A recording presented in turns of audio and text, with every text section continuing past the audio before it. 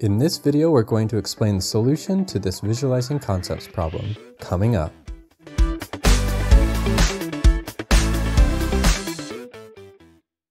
Hey everybody, my name is James Beard and welcome to Mastering Solutions where we take the stress out of your science classes.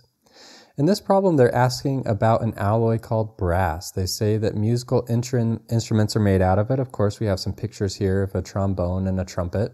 They say that the approximate composition of this is roughly 2 to 1 of copper to zinc atoms, but they say that it can vary a little bit. There's zinc atoms in there and there's copper atoms and they're all mixed together. So of course, as just we were talking about, since they're not bound together, and they want to know if you would classify brass as an element, a compound, or a homogeneous or a heterogeneous mixture. Now of course we know that it's not an element because they say that there's multiple kinds of atoms, so we can cross that out. An element of course is only one kind of atom, which can can be bound to itself or it can be individual, but there's only one kind. A compound now is multiple atoms, but they're bound together into little molecules. Mixtures, however, are a combination of more than one kind of atom or a molecule, but they're not bound into individual discrete particles. So now that we have the definition of those down, we know that we can cross out element as we already have here. And we know that we can cross out a compound because they're together and they're jumbled up. So we know it's a mixture, of course, but which one is it? Is it homogeneous or is it heterogeneous? So homogeneous, homo meaning same, hetero meaning different,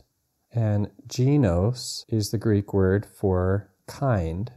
So what they're saying is we have either the same kind of things in this mixture or do we have different kinds of things in this mixture?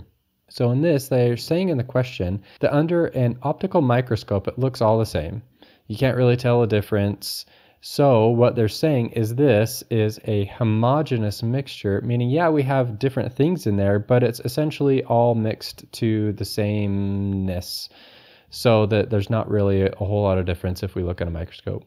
If it was heterogeneous, then we would be able to tell a difference if we looked under a microscope and looked really closely, we would see there's different kinds of things in the mixture. Before we finish this problem, if you found this video helpful so far, please hit the like button, subscribe, and comment below if it was a helpful explanation so others and myself know that it helped you with your homework. Thank you.